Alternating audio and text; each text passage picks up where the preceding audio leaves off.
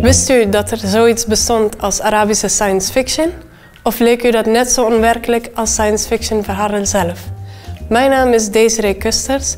Ik ben afgestudeerd masterstudent Arabistiek en Islamkunde aan de KU Leuven en ik onderzoek hedendaagse Arabische science fiction.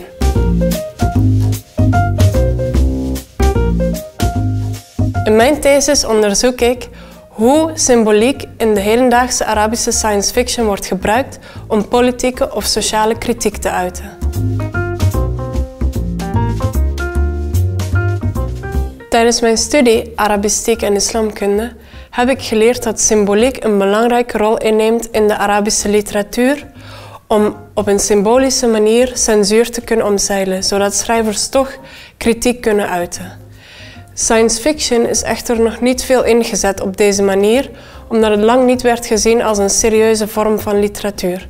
Desondanks won een Arabische roman vorig jaar een belangrijke literaire prijs. En deze roman was science fiction. Dus ik vroeg me af en ik wilde graag onderzoeken hoe science fiction wordt gebruikt als manier om kritiek te uiten.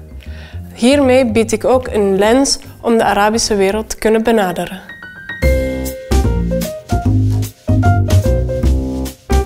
In mijn thesis heb ik onderzoek gedaan naar dit boek. Dit is het boek dat vorig jaar een belangrijke Arabische literaire prijs heeft gewonnen. De titel van het boek is Harb al-Kalb al-Thaniya, oftewel vertaald De Tweede Oorlog van de Hond.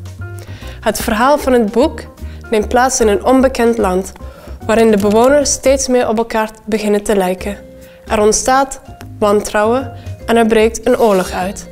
Intussen doet het hoofdpersonage van het boek zijn voordeel uit de chaos door verschillende romantische relaties aan te gaan en mensen tegen elkaar uit te spelen. Ik heb een aantal citaten uit het boek gehaald met behulp van een theorie ontwikkeld door Ian Campbell. كانت عدة كاميرات مراقبة تحدق فيه وعدة رشاشات تعمل تلك الكاميرات كعيون لها. Deze heb ik geanalyseerd aan de hand van politieke en sociale kritiek. Uiteindelijk heb ik een interview gehad met de schrijver Ibrahim Nasrallah om mijn bevindingen met hem te bespreken. Deze vond plaats in Jordanië.